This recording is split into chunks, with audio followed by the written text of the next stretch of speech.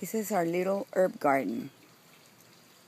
And we've got tomatoes and broccoli and watercress and peppers. And these are the carrots.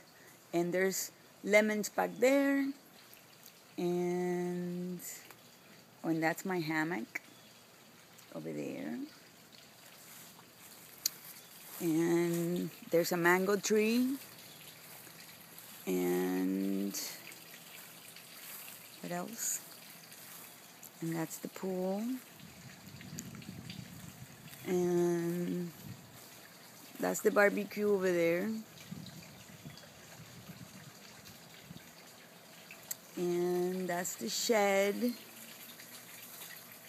And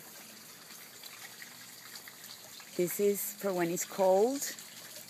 And this is the fountain, like the pond, the meditation pond.